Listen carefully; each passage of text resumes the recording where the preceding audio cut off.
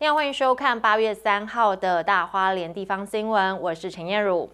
中华职棒统一师今年度第二度在花莲主场系列赛，一连三天在花莲的德兴棒球场举行，而首日迎战中信的兄弟象队，两支传统球队对决，吸引爆满的球迷进来加油呐喊。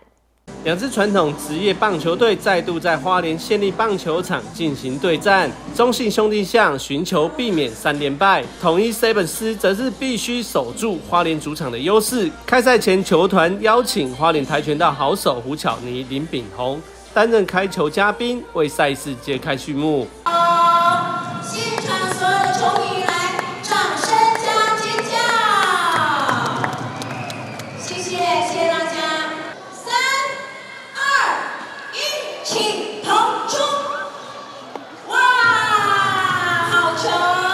两队接甲者众多球迷强大的加油气势中再度决胜。同时，花莲县政府也将在八月四号至八月六号，于日出大道以及太八郎祭祀广场以大荧幕同步直播 U 十二世界杯少年锦标赛，中华队与各国代表队的精彩赛事，也邀请乡亲到场，一同为中华队加油打气。记者林杰，花莲市采访报道。